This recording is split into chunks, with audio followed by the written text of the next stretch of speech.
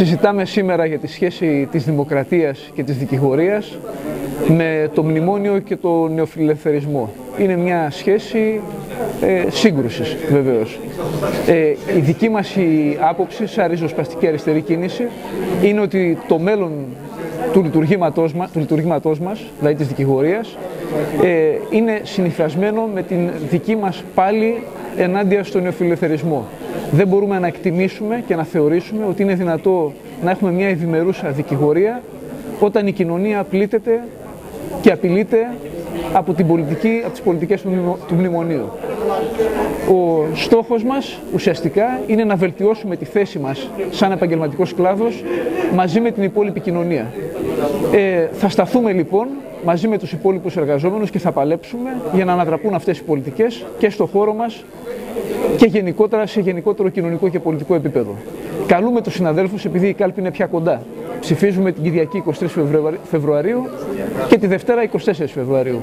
Καλούμε λοιπόν τους συναδέλφους μας τούτη τη φορά να μην επιλέξουν την αποχή, να μην επιλέξουν να επαναλάβουν την εμπιστοσύνη τους προς τις ηγεσίες που πρόδωσαν την ψήφο τους τις προηγούμενες φορές και να ενισχύσουν το συνδυασμό μας, ο οποίος θα είναι κοντά τους και ο οποίος θα είναι τμήμα ενός ρεύματος ανατροπής και στο δικηγορικό σύλλογο και στην υπόλοιπη κοινωνία.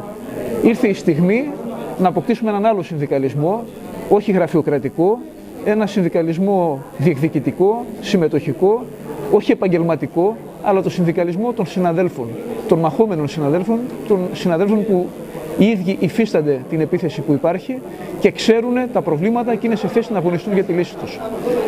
Σας περιμένουμε όλους την Κυριακή και τη Δευτέρα 23 και 24 Φεβρουαρίου να δώσετε την ψήφο σας στη ριζοσπαστική αριστερή κίνηση. Τα αποτελέσματα στο Δικηγορικό Σύλλογο έχουν πάντα μια αυτονόητα μεγάλη πολιτική σημασία.